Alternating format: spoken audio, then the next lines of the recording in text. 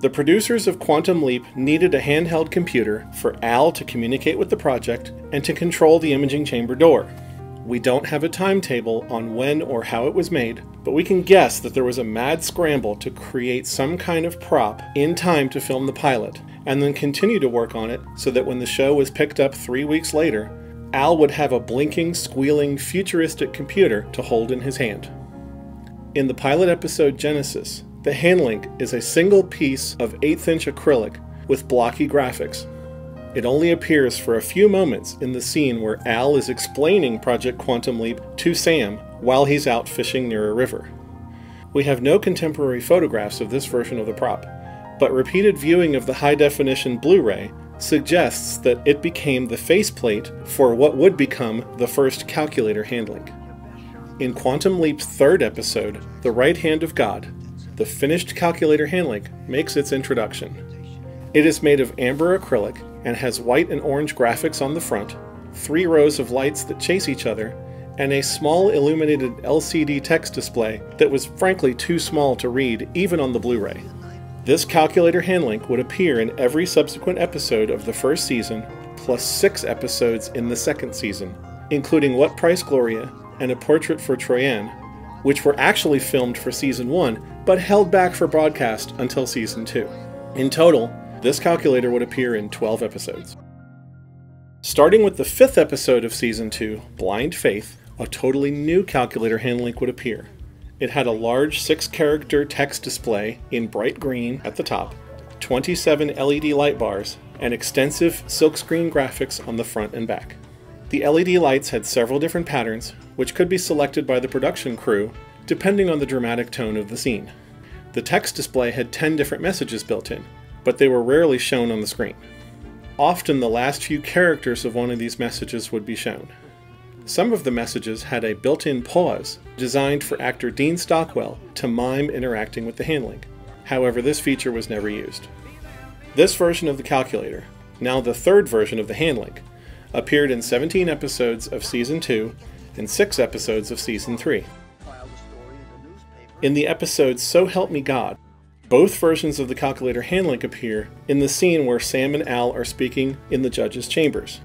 Perhaps the batteries were low on the new calculator, and they used the old one just to finish the scene. This second calculator, and third version of the handlink, would see its dramatic demise in the episode The Great Spontini, the calculator failed to provide Al with the necessary information to answer a deposition in family court, with Al repeatedly striking it until it conked out. The next time we see a handlink in the episode, it is a new one made of multicolored blocks. This wouldn't be the last appearance of this calculator, though. It made one final appearance, all the way in Season 5, in Lee Harvey Oswald Part 2. Gooshie is carrying it down a hallway at Project Quantum Leap, a little over halfway through the episode, or three quarters of the way through if you are watching as a single two hour episode. Quantum Leap's Halloween episode, the name of which many fans still refuse to speak aloud, introduced the series' fourth handlink design. With bright, colorful blocks of acrylic, it was a radical departure from the previous calculator type designs. For plot reasons, if you've watched the episode, you'll know, the lights did not blink and no sounds were heard from the multicolored prop until towards the end of the episode. With the calculators now retired, it was now time to fully introduce the new version.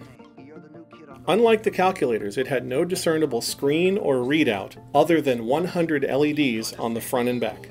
This led many fans to question how Al even reads the device. Perhaps it had a holographic display that the audience couldn't see. Season 4 of Quantum Leap would open with our first serious peek at the future in The Leap Back. This fan favorite episode showed off Ziggy and the wrist link, both following the same design as the multicolored blinking handlink. The Leap Back also lent these handlinks their popular name.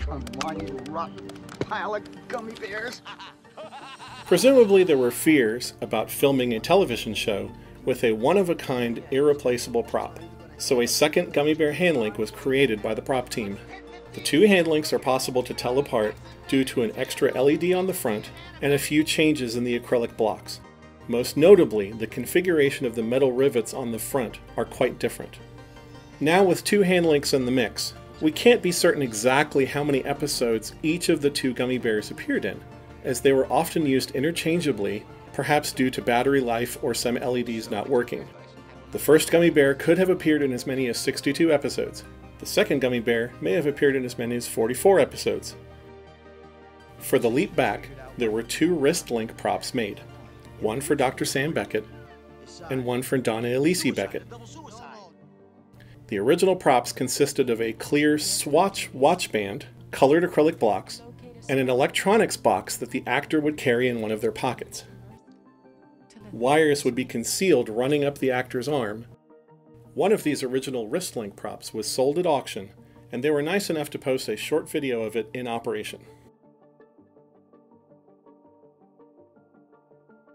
There were some variations on the hand link, but they weren't totally new props, just embellishments or accessories. In the episode Another Mother, Al shows a series of holographic dinosaurs to the youngest daughter, played by series co creator Deborah Pratt's daughter, Troian Bellisario. In Last Dance Before an Execution, Al needed to scan the church to find a bullet. A beam of light comes out of the top of the handlink, and special effects of streaks of light are added. But a close analysis of the high definition image reveals that Dean is actually holding a small flashlight under the handlink.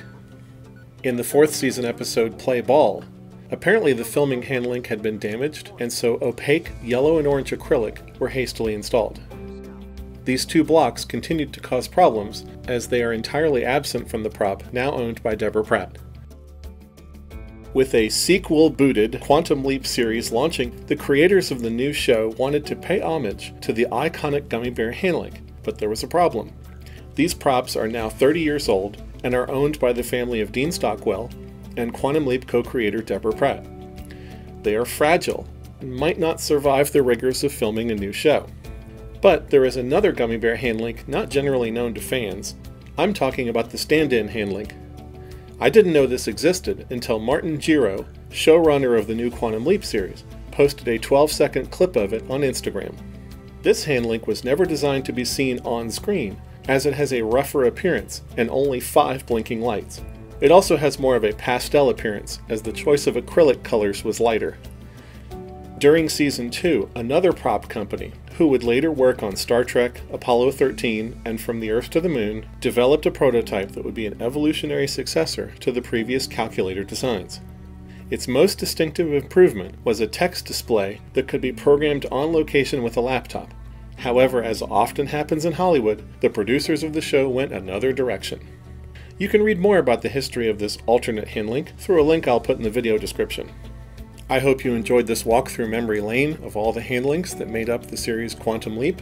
If you'd like to own a piece of history, Replica Props and I have developed screen accurate replicas of both the Gummy Bear handlinks with all their colored blocks, lights, sounds, and touchpads exactly as they appeared on the show. We are also deep into development on a replica of the second calculator handlink with the aid of the collector who currently owns the screen used prop.